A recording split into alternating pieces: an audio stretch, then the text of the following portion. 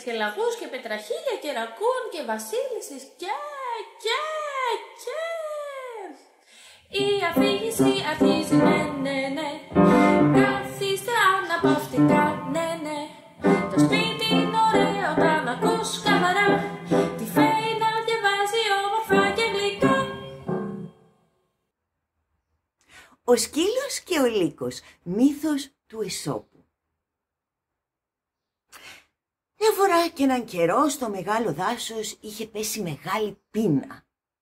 Τα άγρια ζώα, οι αρκούδες, οι λύκοι και οι αλεπούδες δεν έβρισκαν τίποτα να βάλουν στο στόμα τους και πεινούσαν, πεινούσαν πολύ.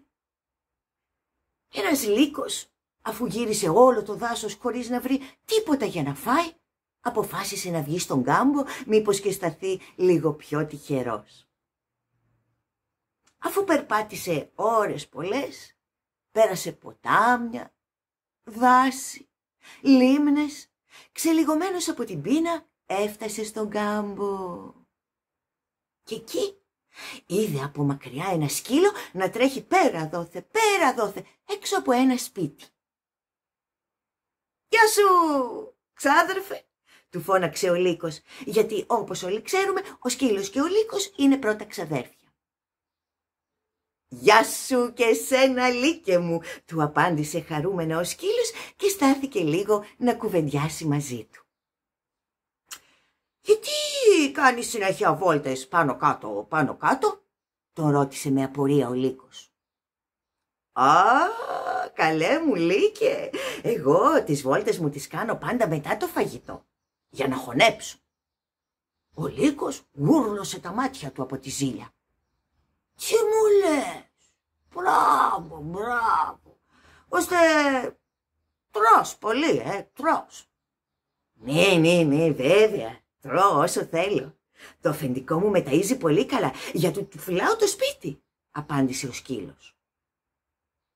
Ακούγοντας για φαγητό ο πεινασμένος λύκος, άρχισαν να του τρέχουν τα σάλια.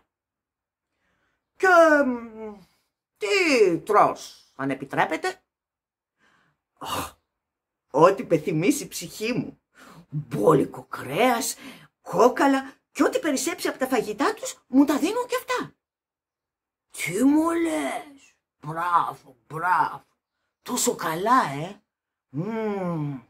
Και κάθε πότε τρως, τον ξαναρώτησε ο Λύκος που δεν πίστευε στα αυτιά του. Τρεις φορές την ημέρα τρώω. Πρωί, μεσημέρι και βράδυ. Τι μου λες, μπράβο, μπράβο. Μήπως, μήπως περισσεύει και για μένα κανένα πιάτο φαγητό ε, και θα βιλάω κι εγώ το σπίτι. Ω, το αφεντικό θα χαρεί πολύ να έχει δύο φύλακες. Από φαγητό μη σε νοιάζει τίποτα. Δεν θα πεινάσεις ποτέ. Θα τρως, θα τρως με την ψυχή σου. Έλα, έλα μαζί μου, πάμε να σου γνωρίσω το αφεντικό. «Ε, μια στιγμή, ξάδερφε, του είπε ο Λύκος. Θέλω πρώτα να σε ρωτήσω κάτι. Αυτό που έχεις στο λαιμό σου, τι είναι; Αυτό. Α, αυτό είναι ένα κολάρο, του είπε ο σκύλος. Κολάρο, ε;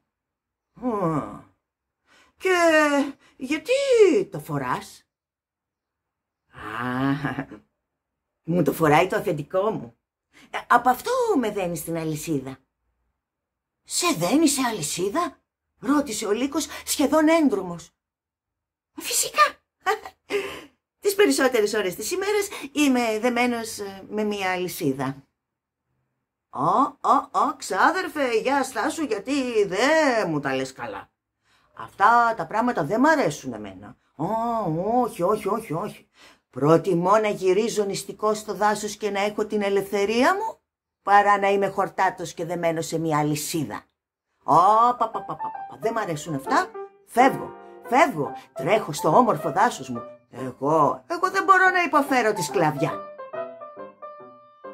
Κι έτσι έφυγε ο Λύκος που προτίμησε να είναι νηστικός αλλά ελεύθερος παραχορτάτος και σκλαβωμένος.